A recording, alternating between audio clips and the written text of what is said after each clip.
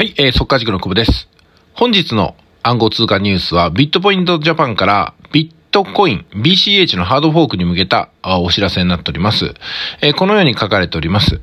ビットコインキャッシュが5月15日頃にハードフォーク予定でございますと。これ5月12日時点でのニュースですね。このため、当社ではハードフォークの開始前からサービスの安定稼働の確認が取れるまでの間、以下の通り、ビットコインキャッシュの入出金を一時的に停止することにしましたのでお知らせしますということです。皆さんご注意ください。ビットコインキャッシュの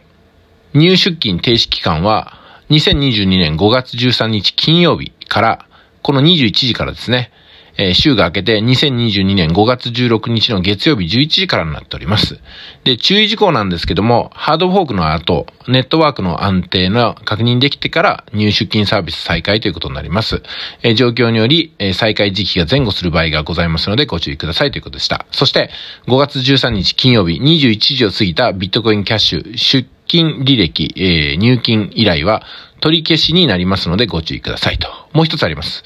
入出金停止期間中の入金は受付しておりませんが、入金があった場合、安定稼働まで残高に反映できない可能性、通常よりもお時間を要する可能性がございますということで書かれておりますので、皆さんご留意ください。ということで、今回はビットコインキャッシュのハードフォークに向けたお知らせでございました。